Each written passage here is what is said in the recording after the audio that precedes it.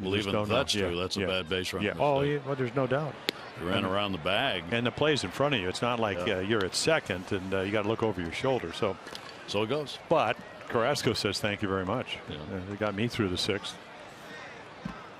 And we're in the seventh inning. And still the two to one ball game. Swing and a miss. Yonder Alonso. Alonso, the home run that has stood so far the test of time. Number five in the year. Came in the second inning with nobody out and Encarnacion on. Those are the two runs. Since then, only two hits off Gausman by Cleveland. And a swing and a miss, and he's gone. Yeah, the fastball over the center field fence, and then since then, Kevin's made great pitches.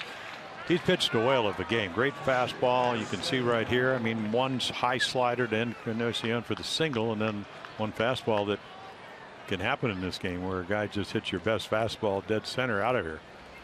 Kevin has worked six innings in each of the last two starts against Detroit and Toronto.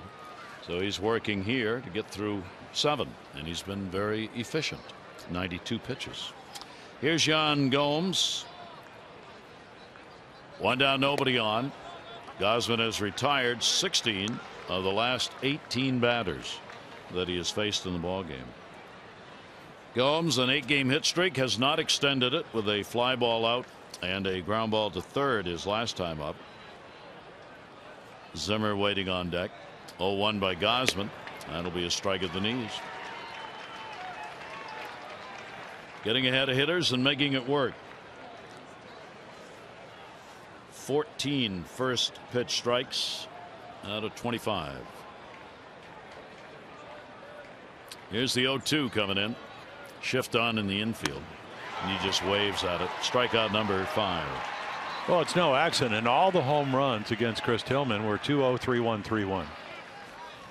And we've seen that all series long. These Indians do a great job. But everything, I mean, it's kind of like flipping as we look at our Nissan pitch cap. When you flip the switch and all of a sudden you reverse the counts, now all of a sudden they have to look for everything. They cannot hit as much on their own terms.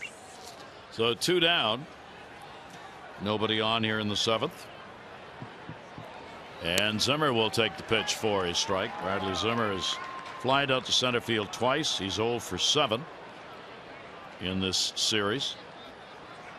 Indians have won two. The Orioles won. A oh, one delivery on the way. And we'll foul that one straight back. All strikes being thrown by Kevin Gausman right now. Orioles won the opener by a score of three to one. Cleveland shut them out in game two by a score of four nothing and then a 7-3 victory behind Kluber yesterday. Terry Francona's team 11 wins. The Orioles have six and he got them. Wow.